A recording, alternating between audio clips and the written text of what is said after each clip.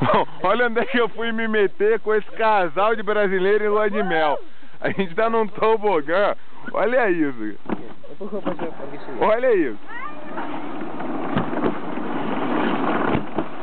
E a parada vai começar a descer. Uhul!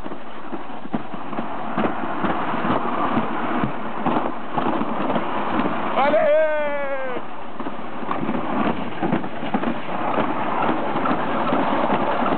Descer!